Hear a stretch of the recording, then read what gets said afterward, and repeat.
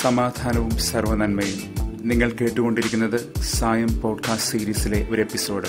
ഞാൻ കപ്പുച്ചൻ സന്യാസ വൈദികനായ ജയന്ത് മേരി ചെറിയാൻ. ഇന്നലെ നാം കാണുകയായിരുന്നു സംശുദ്ധമായ നാർദീൻ നാർദോസ് പിസ്റ്റിക്കോസ്. പിസ്റ്റിക്കോസ് എന്ന പദത്തിന് വിശ്വാസമെന്നും വിശ്വസ്തതയെന്നും അർത്ഥമുണ്ടല്ലോ. വിശ്വാസം വിശ്വസ്തതയിൽ പ്രകടമാകുകയാണ്. ഈ ആജീവനാന്ത വിശ്വസ്തതയാണ് ക്രിസ്തീയതയുടെ ഏറ്റവും സുന്ദരമായ അനുഭവം. നമ്മോട് സദാ വിശ്വസ്തനായിരിക്കുന്ന ദൈവത്തോട് നമ്മുടെ വിശ്വാസത്താൽ നാം വിശ്വസ്തരായി തീരുകയാണ് ഇന്ന് സങ്കീർത്തനം എഴുപത്തൊന്ന്. ഈ വിശ്വസ്തതയുടെ നറുഗന്ധം വിടർത്തുകയാണ്. ആ നറുഗന്ധത്തിന്റെ അടിത്തട്ടിൽ പക്ഷേ ഊറിയിറങ്ങുന്ന ഒരു കയ്പ് നീരുണ്ട് സങ്കീർത്തകൻ കുടിക്കുന്ന കയ്പിന്റെ മട്ടറ്റം. പക്ഷേ ജീവിതത്തിന്റെ ആദ്യം മുതൽ അന്തം വരെ തന്നെ ചേർത്തണയ്ക്കുന്ന നാഥനെ അവൻ തിരിച്ചറിയുന്നുണ്ട്. അവൻ ദൈവത്തിൽ അലിയുകയാണ്. കാരണം ദൈവം അവനിൽ അലിഞ്ഞിട്ടുണ്ട്. തന്റെ ജനത്തിന് ഏൽക്കുന്ന പീഡകൾ തന്നോട് തന്നെ ചെയ്യപ്പെട്ടവയാണെന്ന് നാഥൻ സാവൂളിനോട് പറഞ്ഞതോർത്താൽ. സാവൂളിനെ പൗലോസാക്കിയത് ക്രിസ്തു സ്നേഹത്തിന്റെ ആ സമഗ്ര ദർശനം തന്നെയാണ്. പാപികളെപ്പോലും കാക്കുന്ന സ്നേഹകാരുണ്യം.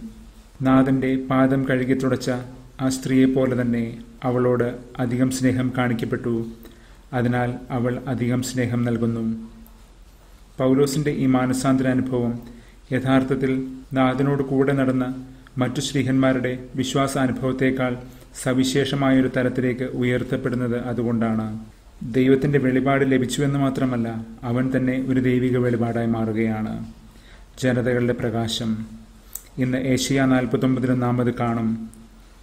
സഹനദാസിന്റെ രണ്ടാം ഗീതം എന്നറിയപ്പെടുന്ന ഭാഗമാണിത്. ഒന്നാം ഗീതം നാം ഇന്നലെ ഏഷ്യ നാൽപ്പത്തിരണ്ടിൽ കണ്ടിരുന്നു. സഹനദാസൻ ജനതകളുടെ പ്രകാശമായി ദൈവത്താൽ ഉയർത്തപ്പെടുകയാണ്. വളരെ അപൂർവമായി മാത്രമേ തിരുവചനത്തിൽ പേരെടുത്തു പറയാതെ ഒരു കഥാപാത്രത്തെ ആദ്യന്തം ഇങ്ങനെ അവതരിപ്പിക്കുന്നത് ഇന്റൻഷണൽ അനോണിമിറ്റി അതൊരു സാഹിത്യ സംഗീതം മാത്രമല്ല വലിയൊരു ദൈവിക പാഠം കൂടിയാണ്.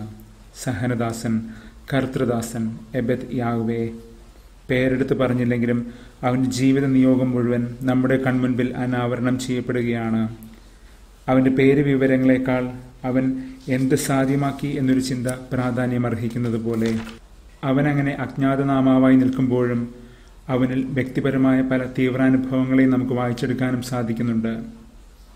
ദൈവിക പ്രവാചകന്മാരുടെ പല ജീവിതഗന്ധങ്ങൾ അതിൽ ഇടകലരുന്നത് പോലെ തന്നെ പ്രവാചകന്മാരുടെ ദൈവവചനാഭിമുഖ്യവും പ്രഘോഷണധീരതയും സഹനവും തിക്താനുഭവങ്ങളും പ്രത്യേകിച്ച് ജെറമിയ എസക്കിയൽ പ്രവാചകന്മാരുടേത്.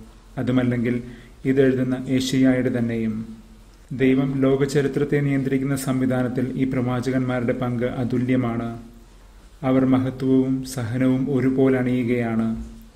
എന്തുതന്നെയായാലും ഈ സഹനദാസിന്റെ നിയോഗം എന്താണെന്നതിൽ നമുക്ക് സന്ദേഹമില്ല. ദൈവത്തിന്റെയും മനുഷ്യരുടെയും ഇടയിൽ സഹനപൂർവം ശുശ്രൂഷ ചെയ്യാൻ തന്നെ. അത് ക്രിസ്തുവിൽ പരിപൂർത്തി വന്നു എന്നതിന്റെ ഒരു പൂർവബിംബമായി സഹനദാസൻ നിലകൊള്ളുകയാണ് എ ടൈപ്പ്.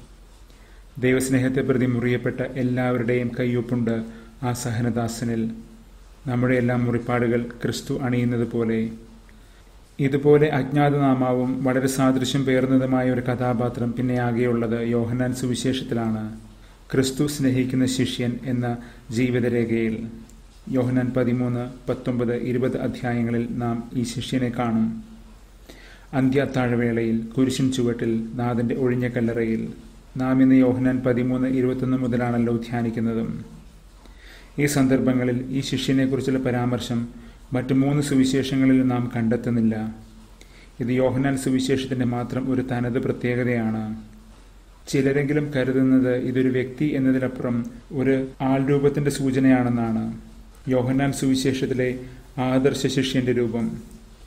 തെളിവ് ചെയ്യാതെ വിശ്വസിക്കുന്നവൻ കുരിശൻ ചുവട്ടിൽ പോലും ദൈവിക രഹസ്യം മെഴിവായി കാണുന്നവൻ ദൈവഭവനത്തിന്റെ കാവലായി മാറുന്നവൻ ഇതാ നിന്റെ അമ്മ ക്രിസ്തുവിന്റെ സഹോദരനായി മാറുന്നവൻ. യേശുവിന്റെ സ്നേഹപാരമ്യം കണ്ട് വിശ്വസിച്ചവന്റെ അനുഭവങ്ങളാണിതെല്ലാം. ഉദാഹരണം നാം ആദ്യം പറഞ്ഞതുപോലെ പൗലോ ശ്രീഹ അതുകൊണ്ട് തന്നെയാണ് യോഹന്നാൻ സുവിശേഷത്തിൽ പ്രിയ ശിഷ്യൻ എന്ന കഥാപാത്രം പത്രോസിനെ പോലും കടത്തിവെട്ടുന്നത്. ഒഴിഞ്ഞ കല്ലറയിൽ പത്രോസ് നോക്കി നിൽക്കുമ്പോൾ ഈ പ്രിയ ശിഷ്യൻ നോക്കുകയും കാണുകയും വിശ്വസിക്കുകയും ചെയ്തു എന്നൊരു കുറി കൂടി അവിടെ കുറിക്കപ്പെടുന്നുണ്ട്. വിശ്വാസത്തിന്റെ ഒരു ദീർഘക്കുറി. ഇന്ന് പത്രോസ് ആ ശിഷ്യനോട് പറയുകയാണ് ഒറ്റിക്കൊടുക്കാനിരുന്നവൻ ആരെന്ന് നാഥനോട് ചോദിക്കാൻ. പ്രിയ ശിഷ്യൻ ആ സമയം നാഥന്റെ മാറിൽ ചാരിക്കിടക്കുകയായിരുന്നു നാഥനാകട്ടെ പിതാവിന്റെ മാറിലും യോഹനാൻ ഒന്ന് പതിനെട്ട് സഹനദാസൻ യഥാർത്ഥ പ്രവാചകന്റെ രൂപകമായിരുന്നുവെങ്കിൽ പ്രിയ ശിഷ്യൻ യഥാർത്ഥ ശിഷ്യത്വത്തിന്റെ രൂപകമാണ്. ലാസറിനെ വിശേഷിപ്പിച്ചപ്പോഴും ഈ പ്രയോഗം നാം കണ്ടിരുന്നു. നീ സ്നേഹിച്ചവനെന്ന്. യോഹനാൻ പതിനൊന്ന് മൂന്നും അഞ്ചും. ഈ ലാസറാകട്ടെ ക്രിസ്തുവിന്റെ ഉത്ഥാനത്തിന്റെ ആദ്യ കിരണം പോലെ ഉദിച്ചുയരുകയാണ്. ആ പ്രകാശത്തിൽ പലരും ക്രിസ്തുവിലേക്ക് വഴി നടന്നു. ക്രിസ്തുവിനെ കണ്ട് വിശ്വസിക്കുകയും ചെയ്തു. ഇന്നലെ നാം ശ്രദ്ധിച്ചതുപോലെ യോഹനാൻ പന്ത്രണ്ടിൽ മതപ്രമാണികൾ ലാസറിനെ കൂടി കൊല്ലാൻ തേടുന്നത് അതുകൊണ്ടാണ് അവന്റെ ജീവിതം ജ്വലിക്കുന്ന പ്രകാശമായി മാറിയിരിക്കുന്നു.